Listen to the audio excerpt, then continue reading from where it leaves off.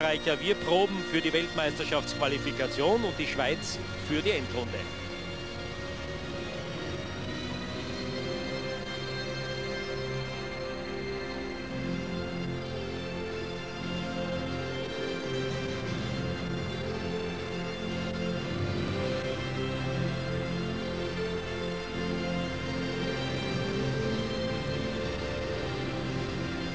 Bei der Schweiz gibt es ja im Moment äh, so etwas wie den 78er-Effekt der Österreicher.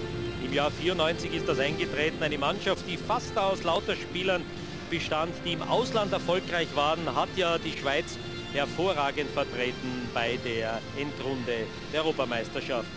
Hier die prominenten Tribüne, auch der österreichische Bundeskanzler mit Gattin lässt sich nicht entgehen, hier bei diesem Spiel dabei zu sein und viel Prominenz und vor allem viele Beobachter von ausländischen Clubs heute auf der Pressetribüne.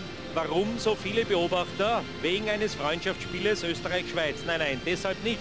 Aber weil das Bossmann-Urteil die Grenzen geöffnet hat und weil einfach im Sommer die Spieler die Vereine innerhalb der EU-Länder wechseln können. Und da sind Schweizer und Österreicher natürlich sehr, sehr interessant. Einer davon, der besonders im Blickfeld steht, ist ja der Neo-Österreicher Ivica Vastic, um den sich einige Vereine interessieren. Ein neuer Name auch in der internationalen Schiedsrichterliste, sein erstes und die Linienrichter Whiteturns und Mattis. Er hat bisher Nachwuchsländerspiele geleitet, aber sein erstes großes Länderspiel heute im Ernst-Happel-Stadion. Teamkapitän Toni Polster in seinem 74. Länderspiel. Naja, dem 74. Länderspiel, damit ist er immerhin schon an der sechsten Stelle der ewigen Rangliste, die er von dem unvergessenen Gerhard Hanabi angeführt wird, der als österreichischer Rekordnationalspieler es auf 93 Teamberufungen gebracht hat. Ein kalter Abend, aber hoffentlich wird uns das neu formierte österreichische Team ein bisschen Wärme hier ins Ernst-Happel-Stadion und zu Ihnen nach Hause bringen. Wie gesagt, sehen wir es ganz gelassen heute. Fragen wir nicht, warum spielt Herzog nicht, wer fehlt. Das ist alles sekundär. Wichtig ist, dass wir heute von dieser Mannschaft, die Herbert Prohaska für heute aufgeboten hat und die eine interessante Mischung ist, ein schönes, ein gutes Spiel erleben werden. Ivica Vastic, einer der Debütanten hier haben wir die Schweizer Spieler, die auch mit Jean Arré einen neuen Mann heute aufbieten. Jean Arré von Xamax Neuchâtel. Jetzt die Hymnen.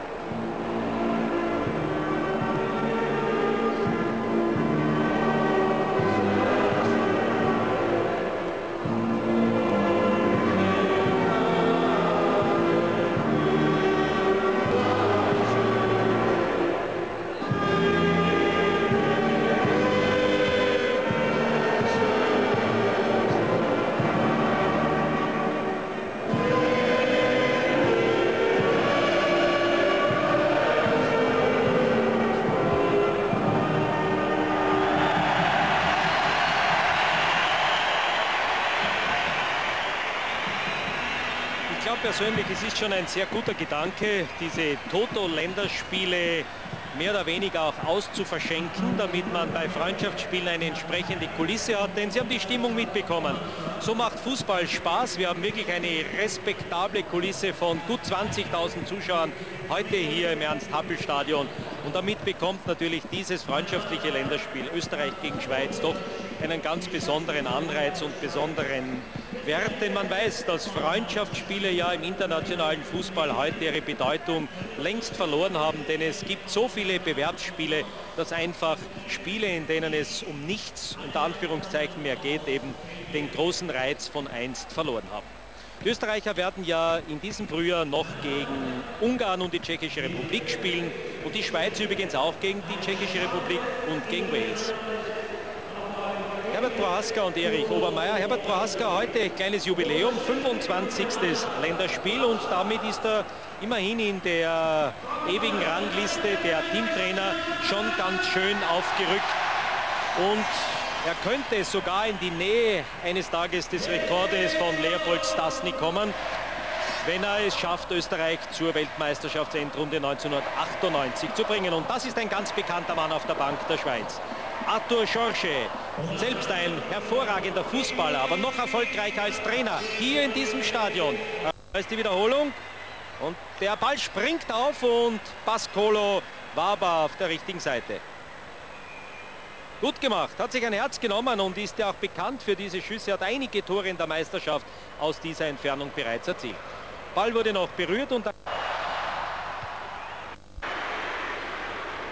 Stumpf und Eckball. Da läuft hier Quentin, hat auch noch Kraft zu einem guten, scharfen Schuss und Pascolo zur Ecke. Schön gemacht wieder von Markus Schopp. Spielt stumpf richtig frei. Und Pascolo mit guter Abwehr. Stumpf und auch Pfeffer vorne. Kopfball stark. Arasek Gute Minuten hier im Ernst-Happel-Stadion. Pascolo. Den Abpraller Marasek. Aufsitzer und wieder Pascolo. Er hat am meisten bisher zu tun, der Tormann der Schweiz. Und er spricht für den Offensivdruck der Österreicher. Schiedsrichter recht gehabt hat. Hier kommt die Flanke.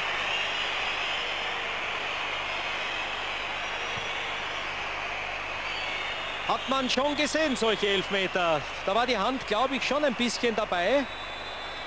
Schauen wir es aus der Perspektive, ja. Hundertprozentig sieht man es nicht, aber leicht gestoßen in jedem Fall. Dann die Schweizer Glück gehabt. Elf sechs Tore im Schweizer Nationalteam erzielt. Einer von zwei Schweizern, die in Frankreich ihr Geld verdienen. Zweite ist Grassi. Nächste Möglichkeit. Greifenberger. Und der Linienrichter hatte die Fahne oben. Gesehen von Abseits konnte hier wirklich keine Rede sein. Und ein Foul eines Österreichers habe ich eigentlich auch nicht gesehen. Aber allgemein als wenig zufriedenstellend bewertet. Das Beste an diesem Länderspiel war wohl das Ergebnis. Auf einen Sieg gegen die Schweiz hatten die Österreicher 18 Jahre lang warten müssen. Die Österreicher haben Glück, dass sie keine auf die Nase bekommen. Die Schweiz ist klar besser, aber ein Geschenk von Hamburg-Legionär Anchon nützt Pfeifenberger und der eingewechselte Ogris erbt in der 73. Minute.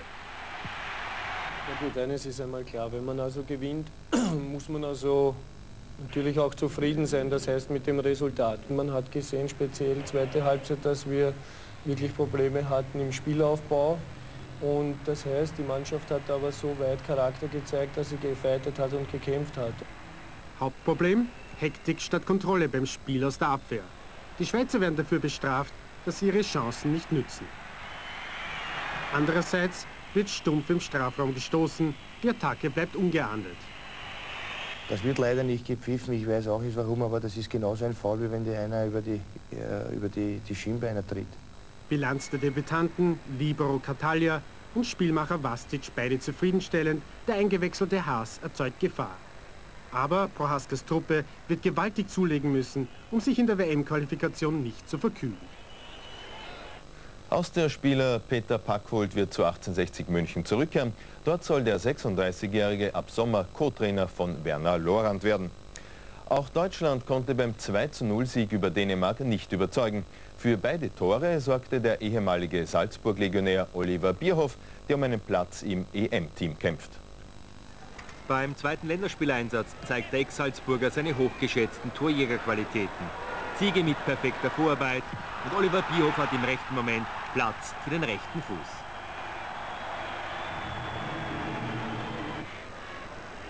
Beim zweiten Tor gibt es dann allerdings kräftige Unterstützung von Dänemarks Tormann. Hesslers Flanke köpfelt Bierhoff in die Arme von Schmeichel, der aber hält an diesem Abend wohl nichts von Fangen.